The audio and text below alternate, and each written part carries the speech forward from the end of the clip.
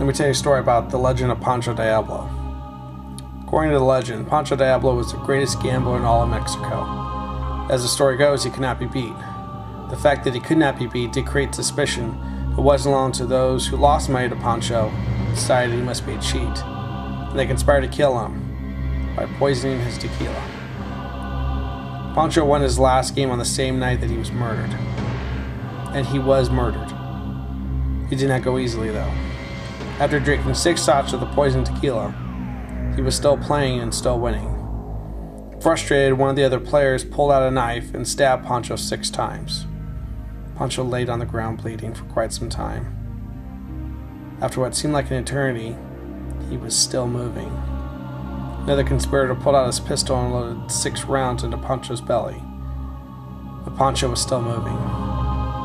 He had drank six shots of the poison tequila, had been stabbed six times, and had been shot six times. He was still moving. Not knowing, not knowing what to do, the killers bound his body with rope and carried him on horseback to the river, threw him in. His body was never recovered. After they disposed of the body, the killers examined his belongings. All they found was a bloody, soaked deck of cards. Expecting to find some type of gaff, or even at least an extra set of aces, they were surprised to find it was just a plain deck of cards. They had killed an honest man. And according to Mexican folklore, an honest man is killed unjust. The soul never rests. Still, to this day, fishermen of that river report sightings of Pancho along the riverbank at night, often levitating several feet in the air above the water. And as the legend goes, someone whispers his name three times while touching a deck of cards. If they are an honest soul, Pancho will appear.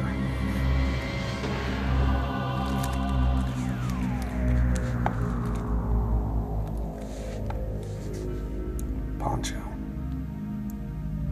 Pancho. Pancho.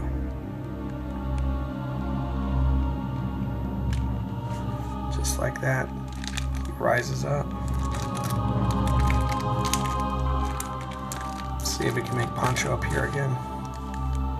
Pancho.